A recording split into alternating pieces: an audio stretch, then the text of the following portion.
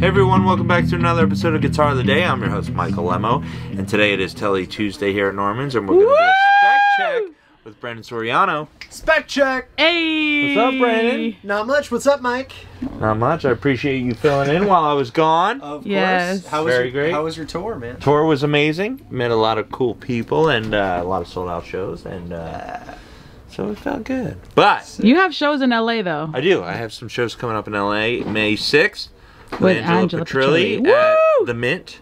Yeah, we're and excited then for May that. 25th. Yeah. But we'll we'll, talk we'll about talk that about later. Yeah, yeah, yeah, yeah. Gotta really Yeah. show up, please. Please show up. No, Help kidding. us sell tickets. But uh, we do have a really cool guitar. I don't think Oh, I've ever played anything like this. So No, this is a, a rare bird for sure. let's take a look. From the Fender Custom Shop, made in 2010. This is a highly limited Esquire Snakehead. Wow. Yeah, dude. This thing is so freaking nuts. and light. It's absurdly lightweight. So let's get that part out of the way. This is a pine body, and pine is a very lightweight wood. And uh, this thing is just abs- I think we actually have a weight. This is 6.2 pounds. Jeez. That is so freaking light for a guitar. Six pounds. I mean, nothing. yeah, it's like there's nothing even there. But surprisingly, the sound that comes out of it is substantial. Huge sound for such a lightweight sure. guitar. I think the resonance of the pine probably has to do with that. You know, lightweight wood, it's going to move a little more. Um, so basically, what this is. This is kind of like a recreation of what you would have seen uh, before the the final iteration of the Esquire and the Telecaster, or the Broadcaster rather, that uh, came out in 1950. So when that guitar was in development, this is basically one of the stages that it landed on. Um, it's called a snake head because of the headstock. This is a three on a side design as opposed to the six on a side design that Fender is, of course, famous for. And when you turn this one over, you can see the back as well. They're in line, so three in line, three per side. That signature is George Fullerton. Um, if you've ever heard of the brand G&L, uh, that's George and Leo. George Fullerton and Leo Fender. Um, so this is a custom shop 2010 George Fullerton Pine Esquire Snakehead. it's kind of Wow. a long. Yeah, there's a lot going on here. This is custom shop insignia on the back. SH of the serial number is, of course, for Snakehead, and uh, 63 is the number in the run that this is. They didn't do a lot of these. You're going to see all the appointments that you would have seen originally. So you're going to get uh, slot head screws as opposed to Phillips head, both on the neck plate and on the strap buttons there and there. Uh, you're going to get a single flat pole piece bridge pickup. This pickup was originally taken from the Fender lap steels, um, and they made their way into like the broadcast, the broadcaster, and the Esquire, and the Tele, and all that stuff. So this is that style. This is when the pole pieces were still flush with one another before they started height staggering them, which came later on. Um, three brass barrel saddles, so the classic uh, sort of Tele slash Esquire sound there, and of course it is a back loader instead of a top loader. The neck on this thing, it's a maple neck, and it's massive. Huge neck, Big like boy. really big boat neck, as you would have seen back in the day. Um, I like it. I've got these I big like hands, and you know, that's yeah. It's, it feels like substantial. Yeah, yeah. You know, it feels like you're you're really playing a, uh, a significant guitar. And uh, also the dots on here. I think this is a cool touch that the dots are just like drawn on like with a little sharpie kind of like because this would be a prototype super early uh, remake and that's what it would have been. Uh, you don't even get bushings on the top of the tuners. It's very primitive. This is like a primitive electric guitar made by the fender custom shop um, and the thing is gnarly. No toggle switch not even a three-way like you would get on the single pickup esquires. This is just the pickup with the volume and a tone. And uh, this is the original case the super rad burgundy white hard shell case with a black interior. It is a G&G case from the custom shop, and uh, there's a bunch of paperwork that comes inside. This is, you know, a little bridge cover there, which is highly unusual to see Yeah, a bridge cool. Cover like that. that. Um, the strap, of course, and the other, you know, various pieces of paperwork that you get from the Gibson Custom Shop. Uh, this one, it's not in the case right now, but we also actually have the original COA from Fender. Uh, it's like framed, so it won't fit in here, but we do have that. So you'll be getting that if you get the guitar.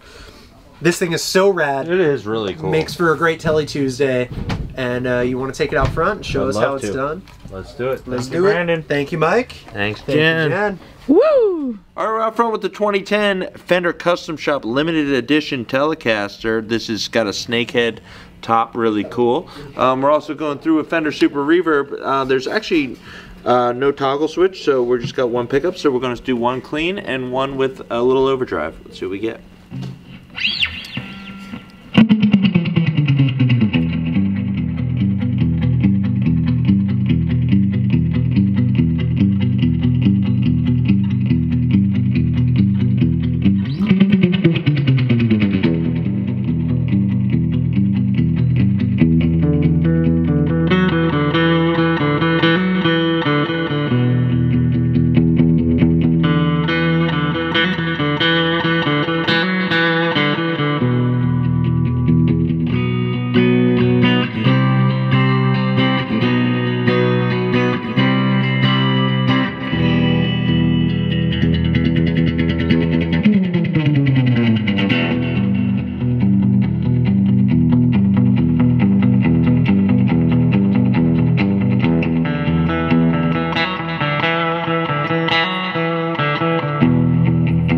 Some overdrive.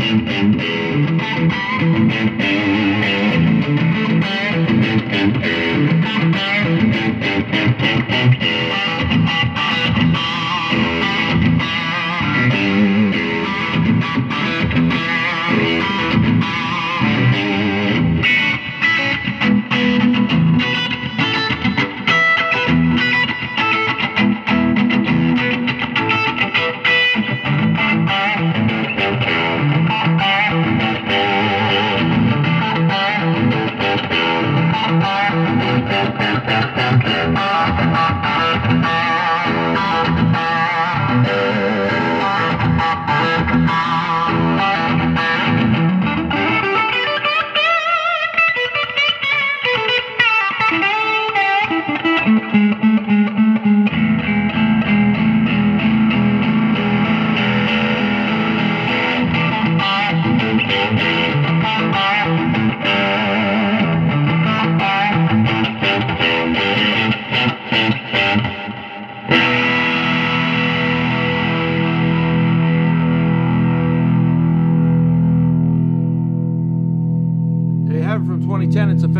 Shop Telecaster with the snakehead headstock. Really cool guitar and straight to the point. You can check them all out at normansrareguitars.com and also on Instagram and Facebook. I'm your host, Michael Lemmo. See you soon. Bye.